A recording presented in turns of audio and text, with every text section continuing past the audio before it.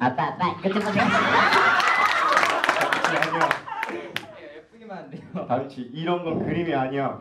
꼭 나만의 자유 그림을 그릴 거야. 왜 이렇게 고집이 센 건지.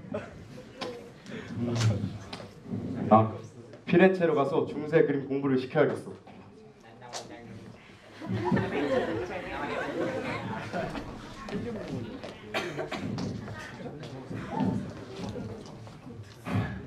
저희 아빠 저희 어디 가요?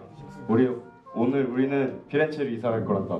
가서 뭐 하게요? 다 널 위해서 그런 거야. 아 저는 저만의 그림을 만들자고 다짐했어요. 다빈치 아까 그 그림은 그림이 아니라고. 하지만 저는 저만의 그림을 꼭 아빠가 전에 말했지. 제대로 된 그림을 그려야 한다고. 싫어 안 갈 거야.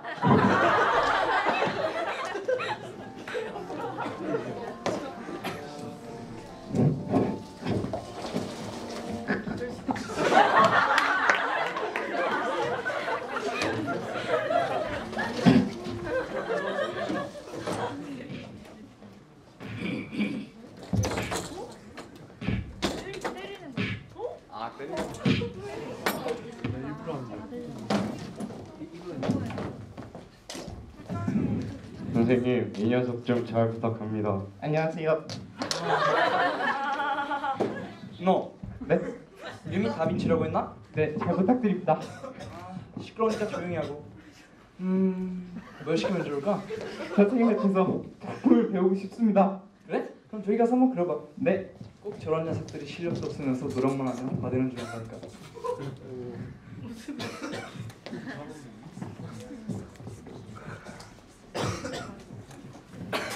선생님 다 그랬습니다. 그래? 한번 보자. 어떤 괴상한 그림이 탄생했는지 보고 싶군. 선생님? 선생님? 역시 선생님도 내 그림을 싫어하는구나 봐. 다빈치! 네? 이런 그림을 어디서 배웠니? 저만의 개성 있는 그림을 그리고 싶어서요. 그 말은 혼자 독학했다는 말이니? 네. 다빈치, 넌 이제 앞으로 미술 역사에 기록될 아주 큰 인물이 될 거야. 선생님 갑자기 왜 그러세요? 우리 같이 우리 같이 우리만의 그림을 그려보지 않을래? 네, 선생님.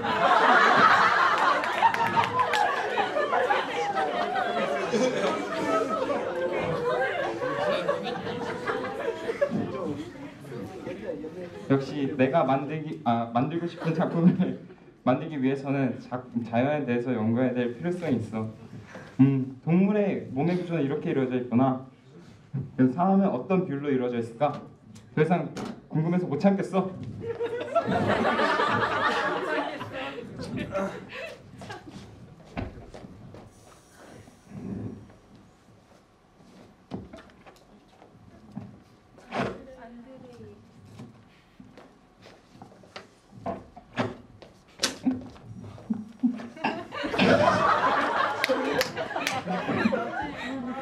안드레아 베로키오 선생님이 돌아가셨다면서? 맞아 참 좋은 작품들을 많이 뭐라고? 만들어. 저희 선생님 돌아가셨다고요? 아,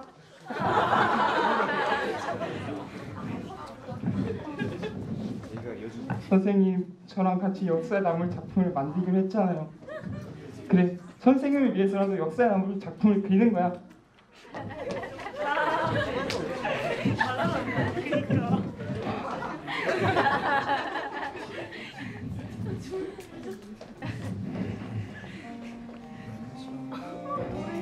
이런 작품은 역사에 남을 수 없어. 더, 더 완벽한 작품을 그려야 돼. 더 완벽한. 하, 좀 쉬자. 하, 무슨 왜 이렇게 살기 힘드냐. 응?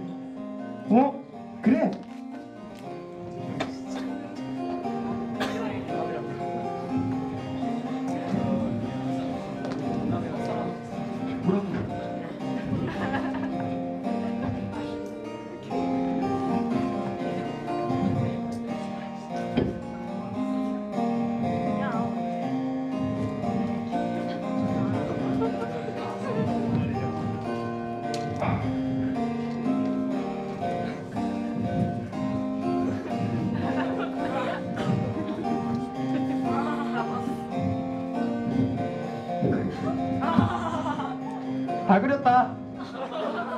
드디어 완성이야. 사람들이 이 작품에 관심을 가질까?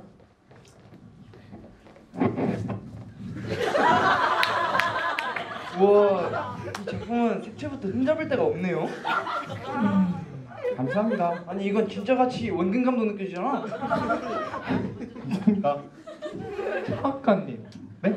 작가님의 그림을 보고 막 노래가 떠오르는데 한곡 연주해봐도 되겠습니까? 그럼 저야 영광이죠. 한 곡 뽑아보도록 하겠습니다.